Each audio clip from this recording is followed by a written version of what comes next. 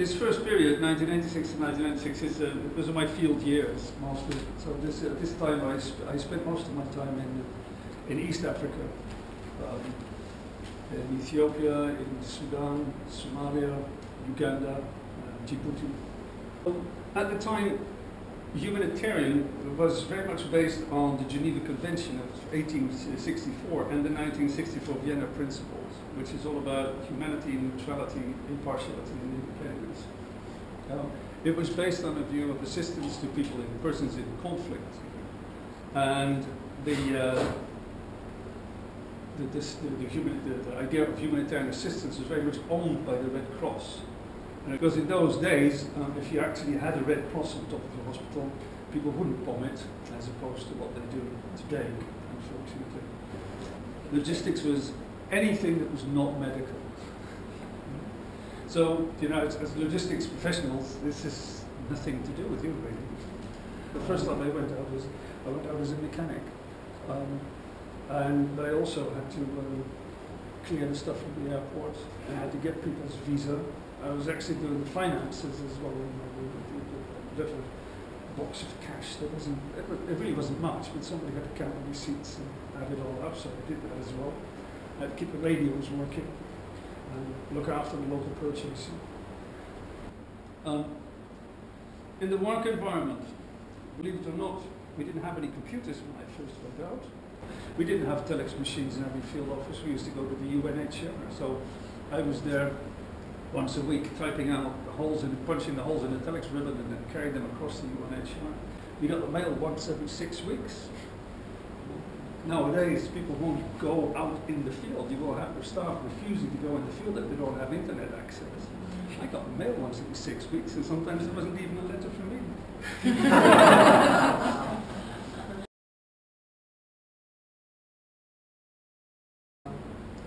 this is, again, this is one of those personal things, but it also illustrates a completely different problem here, is that um, we had a new, this has been my struggle with, uh, with doctors initially and now with other types of program technicians, whether they are engineers or anything else, trying to make people understand that logistics can't work if you don't standardize.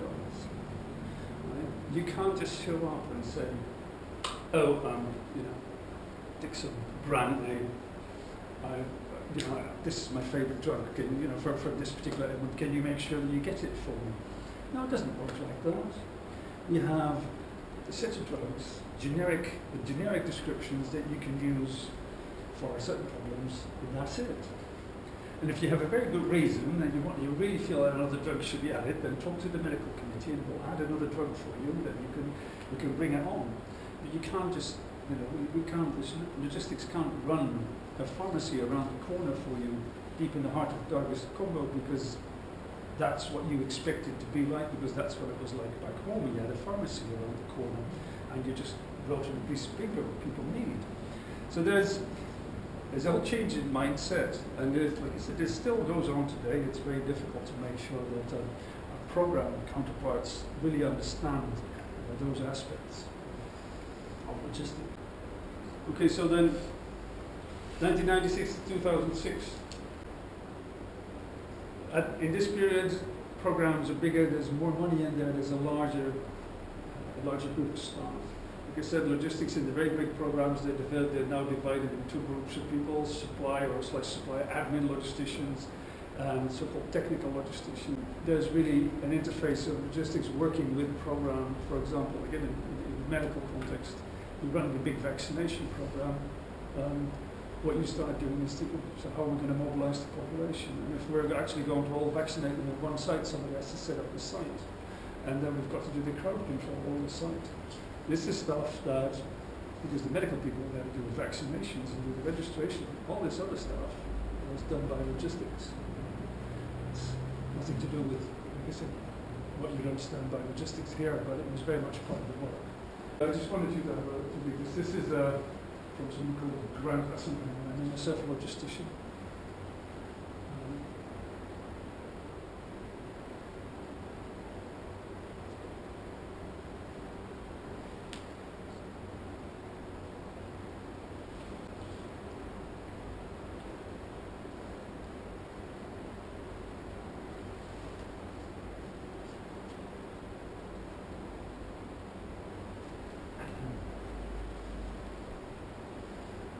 So that's logistics according to Grant ahead of time, time to read that. Humanitarian aid, the, the, the definition of humanitarian is going to shift it from aiding crisis, so to more to more to aiding crisis than aiding conflict. So it's become more of a generic picture. It's not, uh, the idea of humanitarian is, I think, in, in terms of the, the, principles, is also weakening a bit. Um, but there is a new NGO code of conduct that's being brought in.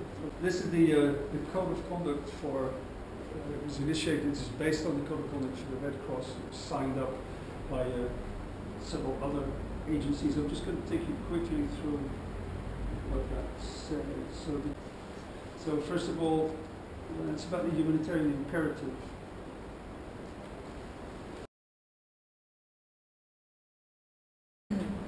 Um, in the work environment, this is actually MSF supply in Brussels and that's Bordeaux. So there are two big supply centers in MSF. So that's what these things look like today, but they were built, they were being built up actually uh, considerably at the time. This is also the period where, where we're working on to putting together kits for operations. So to create kits for a specific purpose. So in Oxfam we've got the 50,000 people for three months clean water installation. And in MSF we've got the um, diarrheal disease center for a certain number of people. And then we've got the kit for vaccination. And so these are sets of material that you can pack up and send to the field.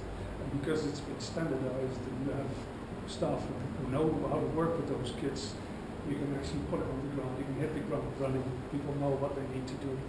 The kits aren't, they don't contain everything you need. They'll still, you'll still need to go to the local market and buy some things. I mean, our, our whole Oxfam catalogue that all of our kits are, are, made up of only contain about 350 items. An average program uses, easily uses 2,000 different items. Um, but all the other items are relatively easy to get and those kits just help you get off the ground and get your activities going. And so all that has been, this has been done at the back, this has been done in the supply centres nowadays. Um, and that's where, I'd say, the, the learning of programs from the supply chain perspective is being condensed. That's the added value of those centres is not because they're very good at warehousing or at transport or any of the other you know, hardcore logistics stuff. The added value is that this is where we concentrate the knowledge of the organization from the field.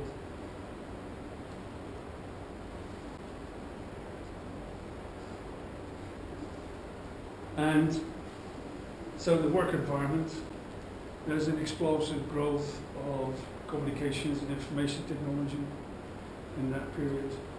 Uh, and then, very important, uh, 1997, Sphere Project.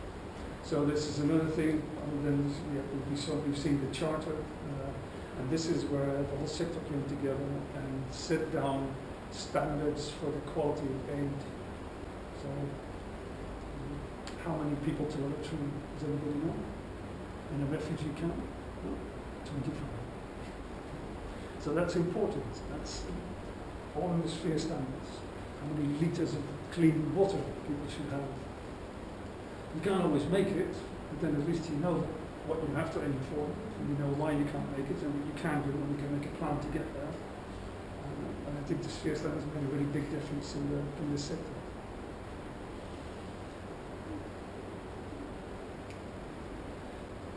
This was also a sign of that period. Like I said, so as governments were getting more, uh, there was more institutional, more formal involvement, there were more UN deployments,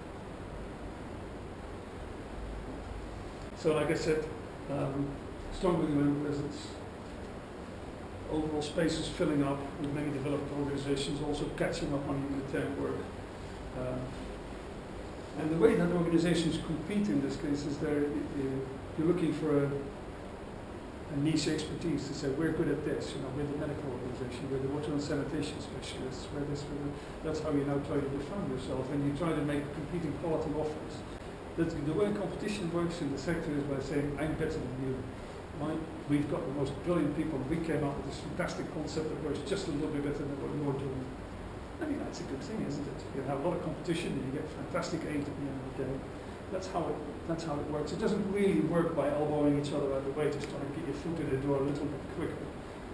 Because I think it's an interesting picture. People ask me, so how do you do this? You know, you have an earthquake like in Haiti and then all these organizations come in. What do you want to do? How do you coordinate that?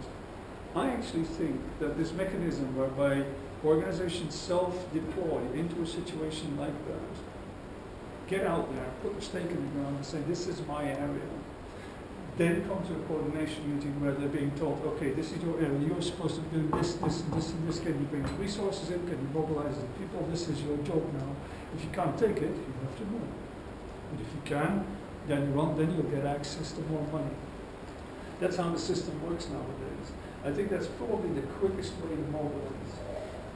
And having these organizations compete with each other to get out there, I think is a much better way than trying to have a joint assessment team under UN supervision, trying to figure out where the needs are the biggest, and then understand who has to deploy where, because we'd still be talking about it three months later. 2006 to 2016. Um, typical of what's happened in that period is that there's more emphasis on the technical. Um, and there is also, because that aid is becoming incorporated in larger political agendas and it becomes a way to uh, basically to mitigate problems in the world. Um, um, and then in logistics, there's been a lot of professionalization. So in the early 2000s, so the Fritz Institute came on the scene in 2003, 2004. They did, I don't know if you've heard of Fritz Institute, but they worked with the CILT on the certification of humanitarian logistics program. The supply, the, the, that CHL program now has, uh, at the moment, we've got about 1,300 students globally. It's aimed mostly at people in poor countries. It's a subsidized basis. The development program is entirely sponsored by donors. So all you have to pay for now is the coaching. That's the set fees for that. Um, and so most of the students are people in poor countries, they have access, their access to study as distant learning, uh, and they get a proper um, CILT recognized qualification out of it. And so that's, uh, I think that is actually in the whole humanitarian sector is the first uh, professional qualification that was introduced. There's also, uh, I think, a very important collaboration between TNT and the World Food Programme, where, which has led to uh, We've got um, humanitarian response depots all over the world, the a whole network. Too. And then there's a, there are studies like this one, this is a very early one, 2004, but there's more, this actually quite, quite, this is a fundamental study and there's a lot of big work, work has been done on the back of this, the comparison between commercial supply chain and humanitarian relief supply chains um, on various aspects. This is just to illustrate kind of what we've got to in terms of how the work, how human logistics is viewed. Um, this is the um, HRD network. So this again is the, uh, you know, I just showed you the individual supply centers of a couple of organizations. This is that, uh, you know, to the power X. We've got all these uh, hubs set up all over the world. Um, they actually come with uh, UN operated air bridges. So when there is a big disaster, the UN runs air bridges from any of those hubs into the area. There's a lot of pre-positioned materials in there from donor organizations. Um, and I think it works to a great extent. They've been able to do that successfully. Those hubs are run very well, they're very effective. But haven't quite connected up to make sure that overall we've really boosted the delivery of aid effectively. So there's still work to be done.